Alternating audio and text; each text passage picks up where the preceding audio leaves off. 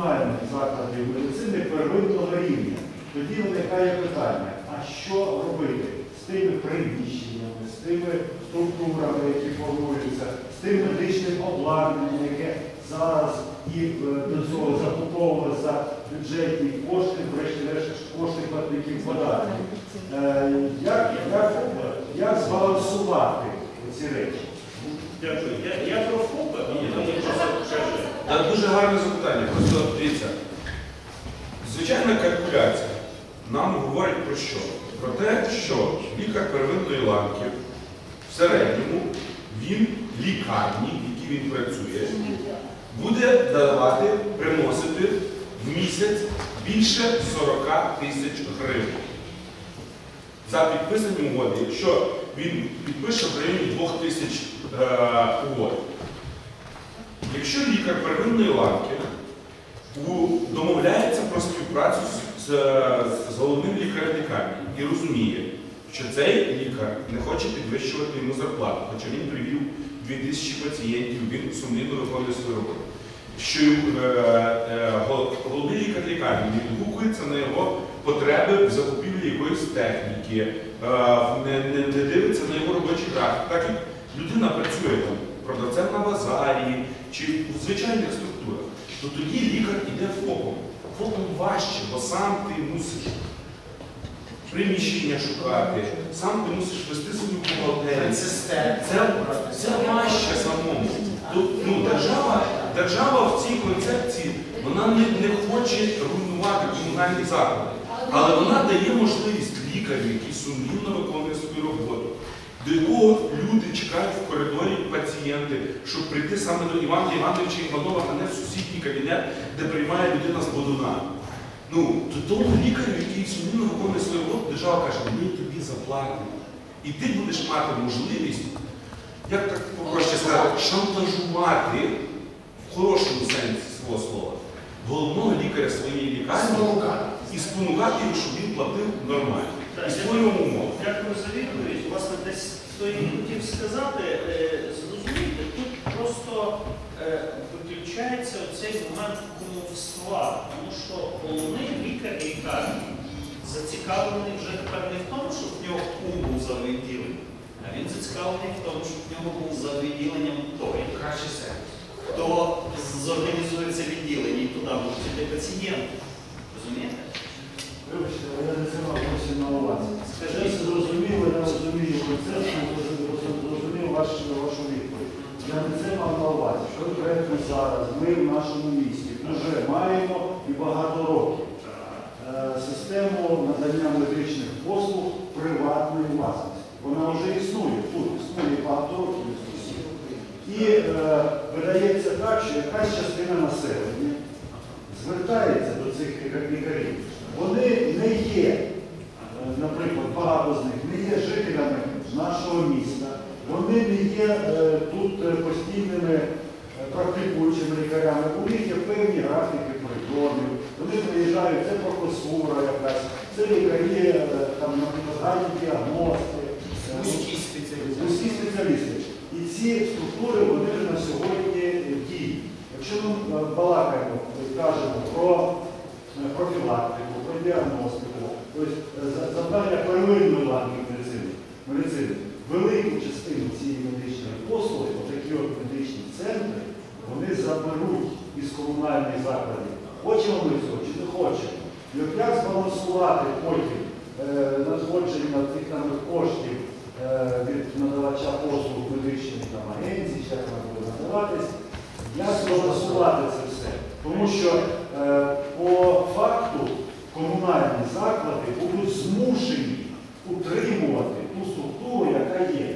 Хочемо ми цього, можливо, буде менша чисельність персоналу, але комунальні послуги, приміщення, ми не будемо ділитися. Їх не можна сьогодні здвинути, завтра роздвинути. Дякую. Ну, е, ви знаєте, ви дали майже відповідь на своє запитання, бо їх таки можна здвинути і роздвинути. Я поясню, що мається на увазі. Коли ви даєте автономію то вони отримують можливість, от умовно кажучи, їм зараз тих приміщень, які є, вони їх опалюють, вони зобов'язані тримати той штат, який там був ще по 33 наказу. Ну, наказ від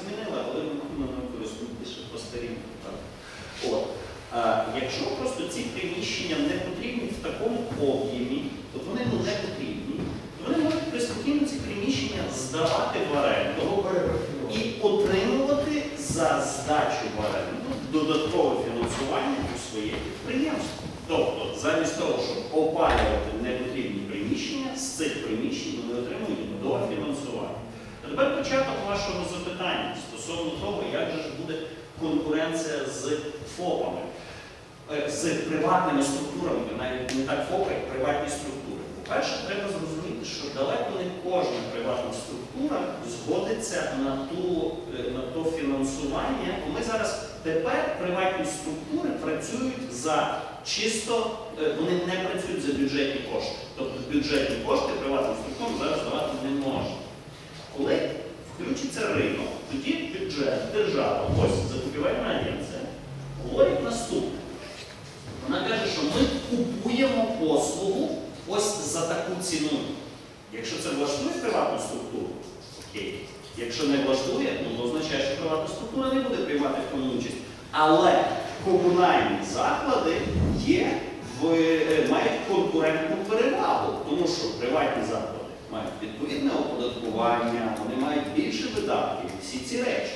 Тому в конкурентному е, полі з приватними закладами комунальні заклади якраз мають перевагу. Інша справа, що тою перевагою треба скористатись. Тобто треба оптимізувати штат, треба оптимізувати приміщення. І тоді в е, конкурентному полі вони будуть абсолютно конкурентно спроможні з приватними закладами. Так, дякую за запитання. Ще питання? Зауваження? Прошу. Головний комунального закладу Охтирська церква. Ну, е, наскільки я зрозумів поки що з усієї розмови, це все е, стосується первинної лампи. В цьому році. Це зрозуміло, це виписано і це дуже гарно. Але є ще вторинна допомога, яка ні, ні, ні законодавчою, ніяк не закріплена. І коли ви кажете про е, Національну службу здоров'я, яка буде оплачувати ці послуги, так, на первинну лампу буде вона оплачувати, але на вторинну лампу, я дивився е, програму, там стоїть співфінансування громадян. Розумієте, в справа? То, При е, нинішній ситуації в державі, е, я лікар-хірург, я можу ну, так, прикинути, скільки буде коштувати, коли я порахую резекція шлунку або лікування панкреонекрозу. Розумієте? То е, гарантовані державою невідкладна допомога і первинна медична допомога, і спеціалізована допомога це дуже різні речі. Хто буде оцю покривати різницю? Я ну, впевнений, що населення це не зможе зробити. Дякую за запитання. Е, А скажіть, будь ласка, а хто покриває зараз? Частково, частково лікарня зараз має можливість, закупивши ліки таких тяжких хворих, ну, відсотків на 80, ну це за свою лікарню, покривати ці витрати. Те, що ми не можемо покривати, докупляють родичі. Але я ще раз кажу, що є е, захворювання, такі як тяжкі опіки, панкреонекрози, які коштують, лікування панкреонекрозу коштує 600 доларів в день. Тобто лікуються вони місяць, півтора-два. Я навіть ну, калькулювати не хочу. Хто ці кошти покриє? Даю відповідь на ваше запитання. Всіх решта рівнів, окрім первинки, цього року не зміниться нічого. Єдине, що ви можете зробити, це ви можете вже підготуватись до того, коли у цій програмі гроші за пацієнтом буде приймати, вже включиться і вторинка. А для того вам треба переформатуватись на підприємство і почати з тим самим фінансуванням. Ваша ж місцева влада не зменшить вам фінансування, коли ви перейшли в підприємство. Чому? Прошу. У нас е, фінансування, можна я добавлю, у нас фінансування тільки на зарплату на початок року 15 мільйонів не було коштів. Це місцева влада покриває. Спасіба їм. Ну завтра вони скажуть, от нема у вас 15 мільйонів, виходьте з цієї ситуації. Це мені що, півлікарні закрить і відправить. А чому вони сьогодні це не сказали, а завтра скажуть? Ні. Тому що ми комунальне підприємство, ми бюджет. А завтра ви сказали, що ми повинні заробляти кошти самі. А ви зараз Розумієте, в чому підприємство. справа? Ви зараз не Ні, підприємство. комунальний Ви заклад. зараз так. Комунальний заклад. Від того, що ви станете підприємством, відношення до вас місцевої влади, ну чого б воно мало змінитися? Ну от чого?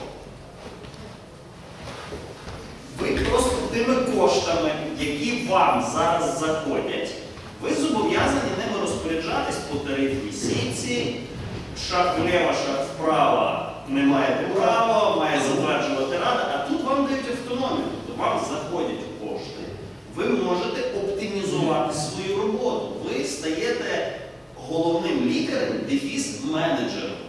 І ви вже починаєте менеджерити процеси у вас всередині. Чому я про це говорю? Що чим раніше ви почнете господарювати, от так як менеджер, всередині вашого закладу, тим простіше вам буде увійти в ту систему 18-го року. 17-го року для вас не зміниться нічого. 17-го року тут мова тільки про первинку. Ви праві. Але з 18-го року рано чи пізно е, методику обрахунку вартості, за якою держава буде рахувати єдиний тариф на всю Україну.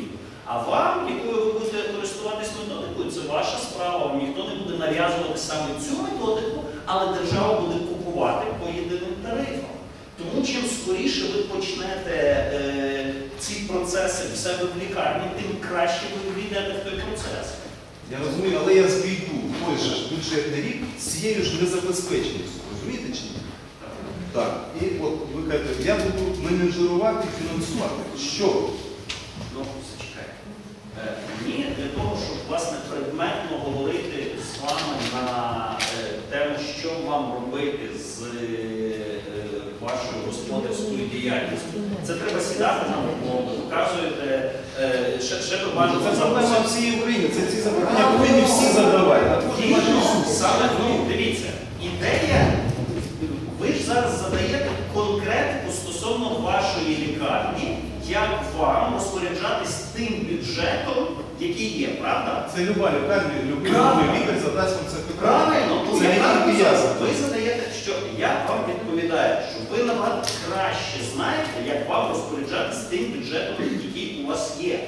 Що я можу у цьому, е, у- у цьому випадку вам порадити, що у теперішній ситуації у вас є бюджет, і ви зв'язані бюджетним кодексом по використанню цих коштів. Після автономізації закладу у вас з'являється більше поле для маневру з цим бюджетом. Оце те, що я можу вам відповісти.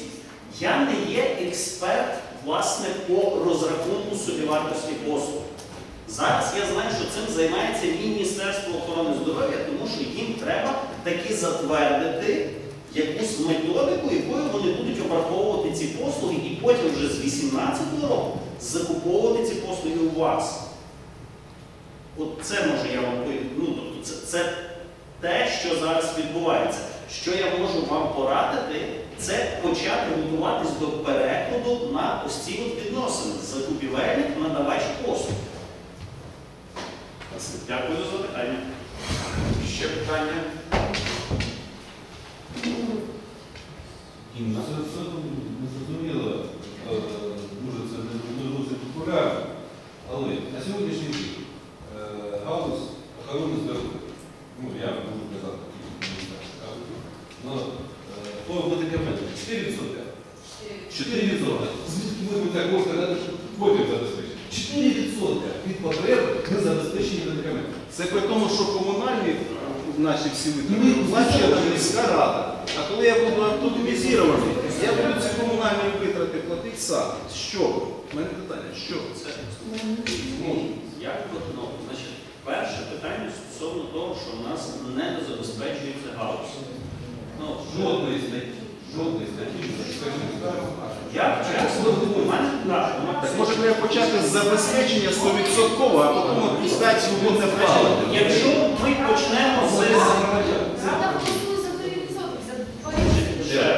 Колеги, дозвольте, я дам відповідь спочатку на ваше запитання, потім на ваше. Будь ласка, відповідь на ваше запитання. Хто приймає рішення щодо бюджету? Рішення приймають наші з вами депутати. Ну, це ж не ті депутати, які напали на нас з Марса і захопили Україну, правда? Це ж депутати, яких ми обрали на демократичних виборах. Тобто ми на е, е, демократичних е, ми на демократичних виборах відправили туди людей, які нам прийняли це все. І зараз ми обурюємося. Добре, що ми обурюємося, але може наступний раз давайте якось інакше обирати. Це по-перше. Ні, я просто ну, фактично приймання народного депутата, як так розумію, на першому поверсі. Так, ну тобто, е, тобто це людина, яка ухвалює державний бюджет України, яка ухвалює, приймає рішення щодо того, що 3,8% ВВП у нас йде на охорону здоров'я. То це до нього тільки питання. Тепер відповідь на ваше запитання стосовно давайте дочекаємося 100% забезпечення, а потім почнемо реформу. Я не проти, але просто давайте тоді з вами скажемо чесно, ніякої реформи не буде ніколи. От чи ви може знаєте якийсь термін, коли дадуть 100% забезпечення? Чи може ви знаєте який спосіб це зробити? Ну я за. Я дуже хочу, щоб медицина забезпечувалася на 100%. При хронічному недофінансуванні і при е, хронічній не- нехватці, коштів е, на лікування хворих, відповідальність лікаря ніхто не за надання допомоги медичної, за там ще інші речі, розумієте? Перш починати треба з Конституції, з закону законодавства України про охорону здоров'я. І ці статті людям пояснити. розумієте? Це не перший слайд. Ну дивіться, держава зараз на нас з вами перекладає відповідальність за те, що вона пообіцяла всім все безплатно. Моя гіпотеза, гіпотеза, слава Богу, Це не є дуже добре. Ні, це, це, це бюджет. Ну, це маячня. Це повна маячня, коли, коли, ну, коли вам кажуть, що ви тепер всім і безплатно маєте за 3200 всіх лікувати. Ну це ж нонсенс. І це так не працює, тому що ці люди потім приходять сюди ж. І вони мусять за це доплачувати. Відповідно, держава якісь там понаобіцяли е, ці, е, ну, ну, просто вильну бульбашку, воно нічого не працює. Тепер міністерство теперішнє переконало Кабінет міністрів, що від цієї маячні треба відходити і зробити дві речі. Перше, гарантований пакет медичних послуг, щоб лікар розумів, що от за це в рамках цього пакету я надав послугу, і я не маю права ні копійки за це вимагати, тому що мені держава заплатила по цьому тарифу. Це перше. А друге, як ходять ті гроші? Гроші ходять туди, куди пішов пацієнт. І я ж про це і говорю. Вони це і пробують зараз зробити. Але ви зрозумієте, колись треба почати це робити. Ну або ми це почнемо зараз, або ще 25 років будемо говорити, що давайте щось чекати. Просто відповідаючи на ваше питання, це 49 стаття. Вона з'явилася в Конституції, коли у нас більшість в Верховній Раді складали, якщо ви пам'ятаєте, соціалісти і комуністи. І люди так мислили. Так само у нас безкоштовна освіта з'явилася в Конституції записано. І результатом, ну, тобто, станом на сьогодні нема 300 голосів у Верховній Раді, щоб цю комуністичну бздуру звідти забрати.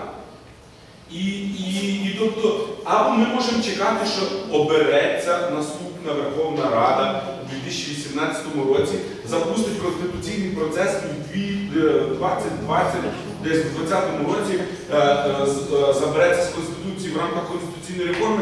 Можемо це думати. І ми, я думаю, що е, наші аналітики це записують зараз, що, ну, що, що питання конституційних змін воно, воно є затребуване. Але можемо ще три роки чекати, коли буде конституційна реформа, і аж потім запустити реформу охорони здоров'я, або в рамках 3,8% ВВП, в рамках фіскальної децентралізації, яка залишає на низовому рівні якісь значно більші гроші, ніж кілька років тому, можна подумати, як цим управляти зараз. Найголовніше, що ви скажете, то може бути кількість. Тому що е, 49 статтю ми зараз її не змінимо. Повірте, зараз в парламенті сил змінити Конституцію. Ну, Просто там сидять, е, самі знаєте. Що можна зробити? Що можна зробити? Тут є один варіант. Якщо приймають фінансові гарантії, то тоді судді Конституційного суду, ну це в чистому особистому спілкуванні з деякими експертами охорони здоров'я, судді Конституційного суду сказали, окей, якщо на рівні, бо є 49 стаття, є ще стаття 95. 95 статті сказано, що в рамках бюджету, оце безкоштовна медицина, так? Але що в рамках бюджету туди входить, що безплатно, що платно, це все розмито. І тому ми в тій ситуації, як на першому слайді. Правильно? Якщо приймаєте цей закон про державні фінансові гарантії, тоді судді Конституційного суду готові е, дати відповідь на запит щодо того, страхуйте, будь ласка, 49 статтю Конституції в контексті цього законопроекту. І тоді вони трактують, що е, безкоштовна медична допомога, надається безоплатно, а ну, тобто до чого я веду? Зараз ось такий варіант через е, тлумачення суддів Конституційного суду, він можливий. Тому ну, я, я радив починати зараз, не чекати новий парламент, тому що в мене щось немає е, зовсім впевненості, що новий парламент буде краще, ніж теперішній. І тут якраз важливо, ну, у вас якась є реакція. Питання не в тому, що ми хочемо чекати новий парламент. Питання в тому, що те, що ви зараз е, декларуєте, це е, для первинної ланки. Так, це можливо. Але для вторинної ланки, для третинної це е, просто нас уб'є. Оце я кажу, як воно є. Тому що, тому що ми будемо з 18-го року, я не зараз, ви ж сказали, що і не, а тому що е, зараз, як ми як комунальне підприємство, у нас є міська рада. Зараз то якраз не Яка- підприємство, зараз це комунальні Я заклади. вибачаюся, так, ми є власністю міської ради, ми е, не- не підприємство, комунальна власність, і е, нам місто допомагає. Розумієте? Чому вона не буде наступним році? А якщо ви стаєте комунальним підприємством, ви Я даєте власність. підприємство, де ви декларуєте, що я повинен собі заробляти кошти. На чому? Ні, ви не маєте заробляти кошти, ви можете заробляти Вибачте, я кошти. неправильно пояснив. Це моя помилка. Я поясню. Ні, ні. Питання не в тому, що ви маєте собі заробляти кошти. Абсолютно. Питання в тому, що в рамках гарантованого пакету медичних послуг ви переходите на стосунки з закупівельником медичної послуги на замовник і надавач медичної послуги. У вас просто міняється статус ваших стосунків. Коли зараз ви в бюджеті, а там ви переходите вже на господарський кодекс, коли ви надавач, він замовник в рамках знову ж тих бюджетних коштів. Ніхто вам фінансування не зменшує. Але крім того, у вас з'являється можливість дозаробляти кошти легально, не через під, під е, е, столом благодійні фонди, а легально. Ви здаєте частину приміщень, які вам ви самі визначаєте, що вам не потрібно. Це, отримуєте за це набіло кошти. Крім того, ви можете надавати ще якісь послуги, які не входять в гарантований пакет медичних послуг. Масажі, не знаю, фітнес-центр, та прошу дуже, це все ваше. І ви там надаєте абсолютно легально набіло кошти. От про що мова. Тут якраз важливо, що тут ми добре, так добре, що вдалося нам зробити цей логічний місток вашими запитаннями, що реформа охорони здоров'я, реформа освіти так само, е, інфраструктури, це, це децентралізація як такої, вона, вона втикається кожен раз в дві речі. В рішення парламенту для того, щоб законодавчо забезпечити цю реформу і виділити кошти в рамках державного бюджету. І, і там працюють люди, яких ми якимось чином обрали, і туди потрапили, і е, ми їм делегували повноваження управляти країною. А в другому випадку це є ті, кого ми обрали на місцевих виборах, яким держава делегувала повноваження органів місцевого самоврядування. Я би хотів передати слово Інні зараз для того, щоб продовжити консультацію по доступу до політики обговорити якраз е, з вами ці моменти, які є важливими в рамках цілої держави і місцевого самоврядування також. Буквально ще хвилин 15 вашої уваги, бо хочемо взяти максимальну користь і почути вас. Те, що ми казали, що з 2014 року ви точно знаєте, що є записано в коаліційній угоді, під тиском громадськості була закріплення обіцянки більшості працювати над змінами законодавства в контексті того, щоб зникла мажоритарна складова парламентських виборів і з'явилася так звана пропорційна система а, з виборчими дефіцитами регіональними списками. Тобто а, була більша структуризація, а, в тому числі а, пол- політична і зменшення підкупу. Ми, а, я вже сказала, стисло, що у вас є ця зелена книга, це результат нашого дослідження. Я спробую стисло, стисло групувати основні проблеми, які сьогодні, на думку опитаних, унеможливлюють рівний доступ до політики або зміну цих політичних еліт, яка б на- найперш за все сприяла підвищенню якості їх рішень і якості роботи. Е, Чому ми сьогодні стверджуємо, що доступ до політики або доступ до влади є нерівним, тому що хто намагався обиратися або конкурувати на виборах і програв, або був обраний, розуміє, що дуже часто, найчастіше, саме великі гроші є чинником перемоги. Можна за місяць розгорнути будь-який проект, можна взяти багато місць, можна зникнути, під наступні вибори. І дуже важко конкурувати е, незалежним кандидатам, умовно новим політичним силам, умовно новим політикам з великими фінансово-промисловими групами, які створюють собі таку монополію спортивний клуб, е, якийсь телеканал, політична партія, і все це добре працює на захист їх інтересів. Попрацювавши з багатьма експертами, з практиками, з тими, хто був обраний, ми структурували взагалі проблеми, які існують з доступом до політики на е, кілька великих блоків. Перше з них стосується виборчих прав. І тут перш за все йде про те, що е, за умови традиційно низької явки, потенційно високого підкупу в Україні, мажоритарна складова на парламентських виборах вона суттєво спотворює взагалі волевиявлення громадян, має потім важко контрольований і е, парламент складова мажоритарна не передбачувана, як вони працюють, на що вони працюють. Більшість з них це є не дуже ефективні законотворці і сумнівної якості. Друге, це те, що місцеві вибори і ті, і те законодавство, той експеримент 15 року, він також е, його констатують і характеризують як крок вперед, але він має ще свої вади, тому що він не забезпечує повній мірі представництво всіх громад. Деякі округи залишились просто переможці, не змогли потрапити і не змогли представляти інтереси цієї громади. І це також потребує певного доопрацювання. Рішеннями, альтернативами рішень, які зараз обговорюються, є запровадження, як я вже виборчої системи з відкритими списками на парламентських виборах, а також доопрацювання місцевого законодавства.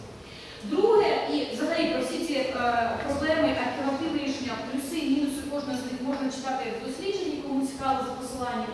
Друге стосується організації виборчого процесу. І, зокрема, ті часті заміни членів виборчих комісій і політична ангажованість вона не сприяє якості, е, під, е, якості власне, організації виборів.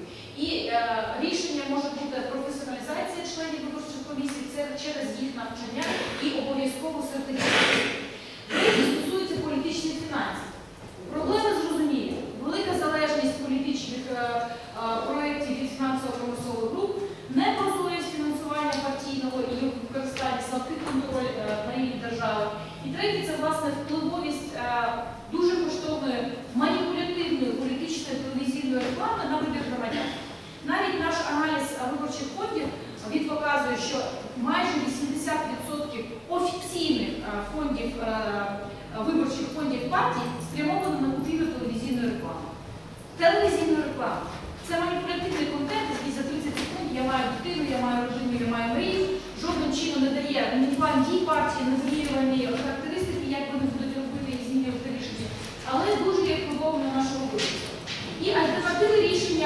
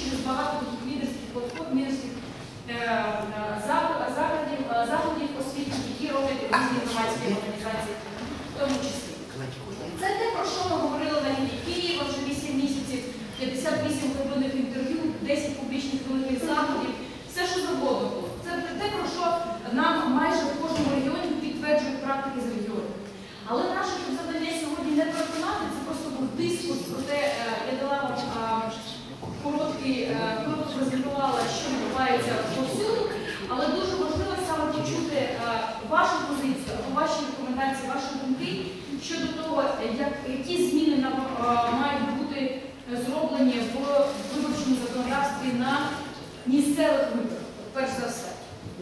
Чи є у вас досвід? Точно є досвід. Скажіть, будь ласка, пане що має, що, що, що складнює, що можливо класно спрацювати? Шановні, я вибачаюсь, оце я неділю ізяв самогон, не реагує ні тока. тільки що в прокуратурі був. Чкалова 10, підіть, зробіть, будь ласка, допоможіть. Давайте я зараз вам допоможу. Будь ласка. Пане Ігоре, Можливо, зв'язок є дещо непопулярний, якраз йде в розріз із тими словами, що ви сказали, але я особисто вважаю, що на місцевому рівні вибори повинні проходити виключно на мажоритарній основі. і ви такий не єдиний, і це також в нашому дослідженні. Тому що практика, практика проведення останніх виборів 15 року, ви вірно вона е, надзвичайно спотворила вибір громадян. Не кажу зовсім, але дуже сильно спотворила. Е, абсолютно вірно те, що дуже багато переможців е, на дільницях, які брали участь у голосуваннях, вони не пройшли раду міську. Я не знаю, гарні це чи погано. Не можу давати оцінку е, депутатському корпусу, але це однозначно не людей. А м, е, є, є якась складова е, маніпулятивна. Я не кажу, що це свідомо було зроблено. Але на стадії формування е, закону і прийняття закону про вибори, то це чомусь не подумало. На що ще слід звернути?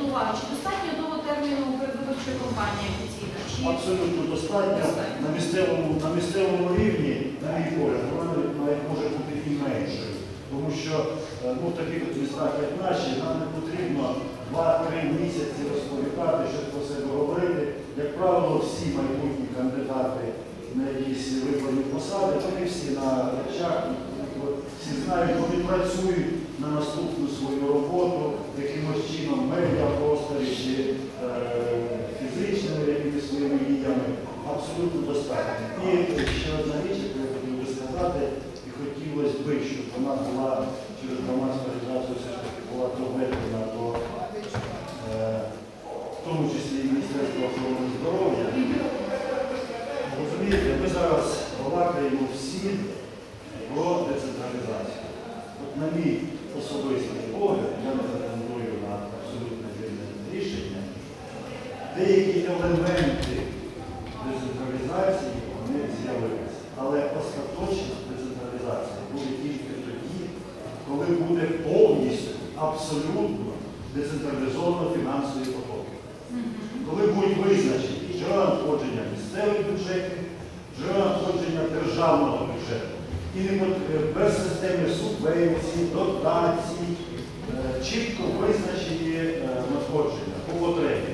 Тоді буде децентралізація, в тому числі в галузі охорони здоров'я. Вона буде реальна і вона буде зрозуміла людям. В цій системі, яка зараз, дуже багато незрозумілого, тому що ну, говорив головний лікар, він сьогодні не може зрозуміти. Він багато разів перечитував цю концепцію, брав участь у семінарах, і я думаю, що цим цікавився. І в нього багато питань, і в мене багато питань, тому що ми не розуміємо один одного. Бо перше питання джерело. Якщо ми будемо знати, що ми маємо у своїй територіальній громаді, чи яка вона буде об'єднана чи не об'єднана, в межах госпітального округу, ось таке джерело доходів, ми зможемо спланувати відповідно свої витрати і рівень медичних послуг, які ми можемо надати на ці кошти.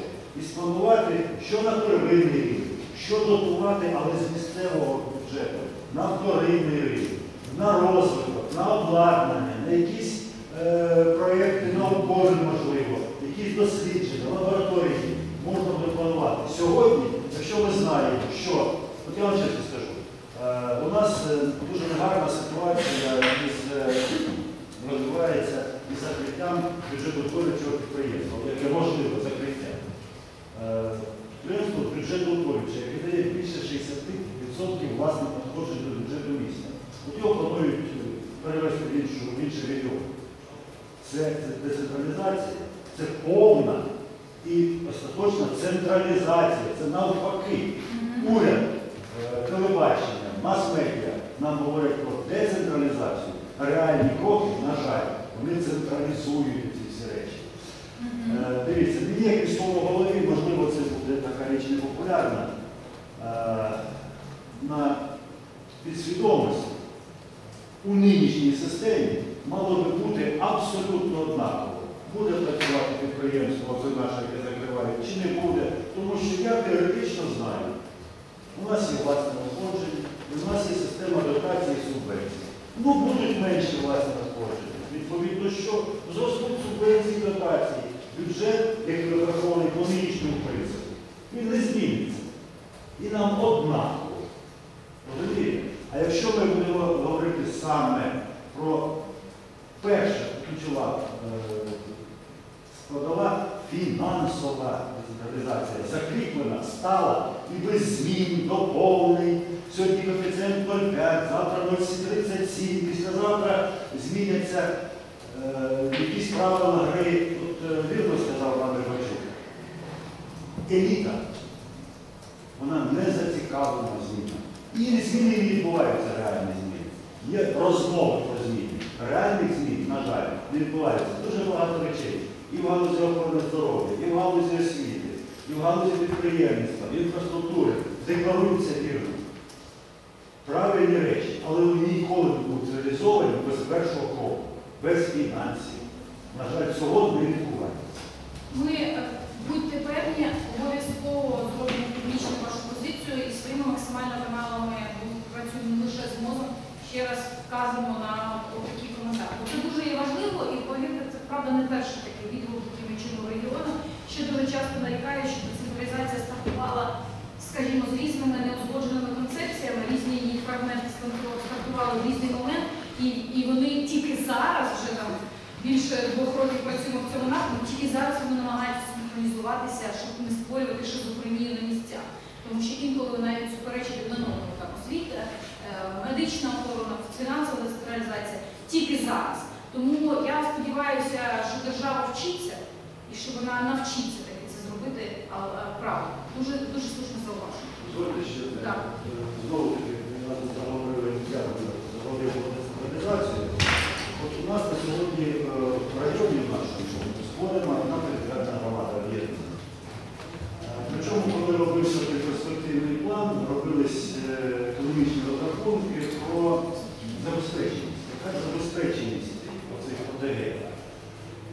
Як не дивно, як не парадоксально, з усіх територіальних громад перспективних підтверджених на рівні Кабміну створилась одна з коефіцієнтом забезпечення найгіршим, який тільки міг бути.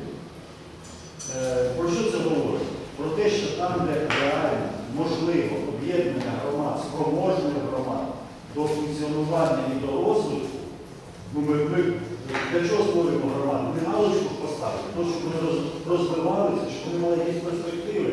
Так от створена найменш фінансово забезпечена громада із забезпечення, якщо я не помиляюсь, 0,23. Навіть не 50%. І вона отримує на все інше, вона сьогодні отримує дотації і субвенції з державного бюджету. Це сьогодні. А завтра. Я невеликий економіст, не аналітик. Е, Я, відверто кажучи, я не можу зрозуміти, можу здогадуватись, де держава зараз бере кошти на оці всі речі. Ми на себе не заробляємо. Слушно. Абсолютно слушно. Колеги, це саме стосується і парламентських виборів. Вибачте, мене ще є цілих два питання. Можливо, у вас є коментарі, побажання або спостереження щодо того, як працює парламент і як через зміни виборчого законодавства або виборчої системи можна покращити якість їх роботи.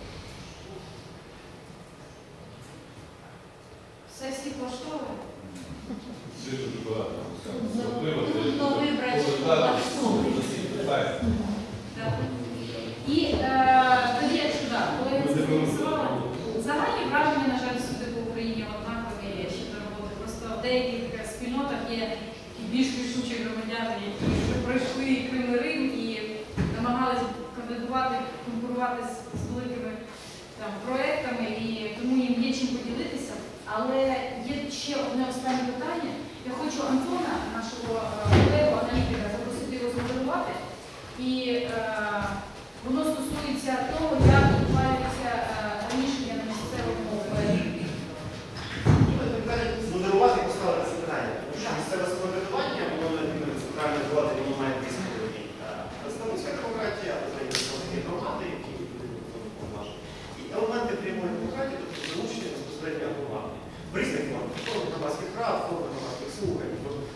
сучасних повних інструментах кредиції, електронних кредицій, бюджетної участі і так далі. Питання в тому, е, як е, наскільки ефективно в вашому місті працює цей механізм залучення громади до ухвалення рішень на місцевому рівні. Якщо він працює чудово ефективно, то які моменти є найбільш ефективними, найбільш якісними з вашої точки зору? Якщо ні, то в чому ви бачаєте проблеми? Це не обов'язково має бути проблеми на рівні Можливо, там проблеми з громаді, можливо, проблеми там на рівні там, депутатського корпусу і так далі. Дуже хотілося б почути, тому що в різних містах це дуже по-різному, і ми дуже цінуємо той досвід, який має- ви маєте на місцях цих питань.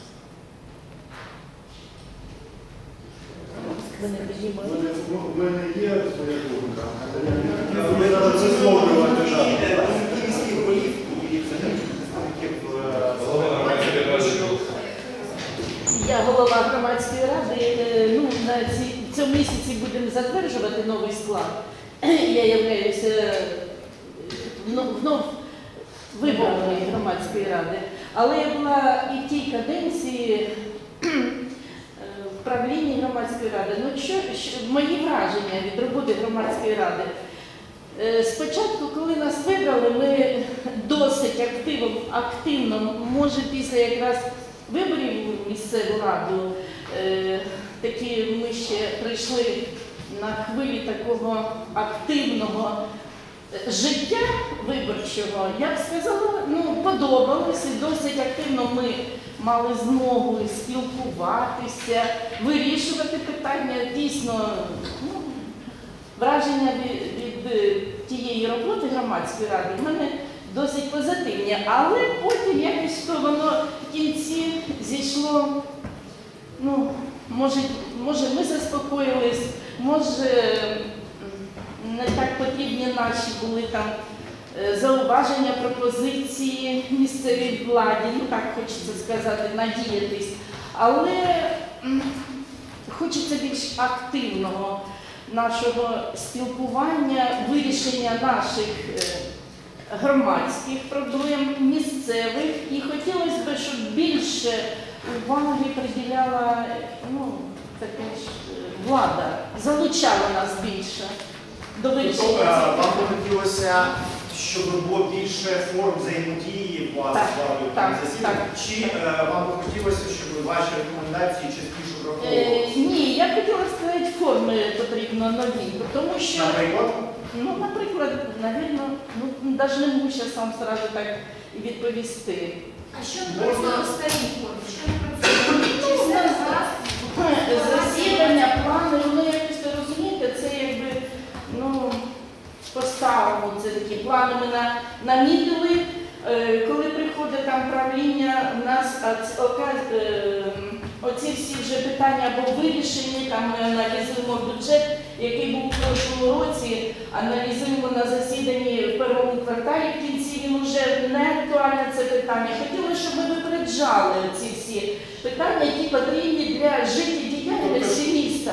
Розумієте? тобто, щоб ви залучали громадськість на етапі підготовки рішень, Так. які будуть ухвалюватися, а не вже ухвалення. Знаєте, моє бачення цього, щоб влада не бачила в нас е, супротивників, а бачила е, ну, як співучасників, співучасників вирішення процесу самого. Так, розумієте? Мені так кажеться, що ну, місцева влада все-таки нас побоюється, що ми можемо там що. Воно дійсно проходить наше засідання в стилі там мітінга, буває і таке. Але треба, мені здається, більше спілкуватися, більше працювати і е, виробляти ну, попередні якісь то ну, рішення, можу так сказати. Більше нас запрошувати. Були такі ну, регуляторні акти, які потрібно прийняти нам, е, у нас так? на сесії чи ще щось. І без участі громадськості ці акти е, не проходили, тому що ми, ми пропонували на більш такі якісь варіанти, які б не сподобалися, які підійшли і були проголосовані на, на сесії. Тобто, ваша, ваша Ну, це моя була не врахована, е, чи Ні, нас не нас не запрошували, ми не приймали участі в цьому. Ці акти були розроблені без Жодного народного нас не розробляється доступу. Ні, ні, ні, було такі, були. Ну це моє бачення, моє бачення. Ми з вами поговоримо. Дякую. Раз дуже дякую вам за вас. е, Якщо ви почали думати, Ми давайте. з виконком- ми з виконком. Ні, ні, ви почали, ви почали відповідати, тому я хотів би почути. Дійсно, зараз у нас створений новий склад, склад громадської ради, але туди 90% пішло попереднього складу. громадської Ні, ради. обновився набагато. Ну, Набагато обновився, дуже Ну, багато ну, зайшло представники. нових. Е, В даному випадку я не зовсім розумію позицію, Ну, тому дайте що ж заходити. е, не запрошуйте до ще. А то буде як Путін поздравляв. Гендер на рівність. Завчасно. Колеги, я перепрошую. е, Гендер на рівність. Обговорення Всі, абсолютно всі рішення, які потребують колегіального прийняття, в тому числі що виконком, що рішення е, сесії міської ради завчасно публікуються на офіційному сайті і ні від кого вони не приховуються. Е, ми з вами наговорювали е, методи нашої спільної роботи, так як я в якійсь мірі відповідаю за взаємодію з громадською радою. Ну, вже два місяці, скажімо так, ви в своїй каденції, але жодних пропозицій від вас не надійшло. А як Щодо- вам щодо доречного- отримувати пропозиції? Тобто чого вам хочеться в свою чергу бачити від громади, які поради, які форми?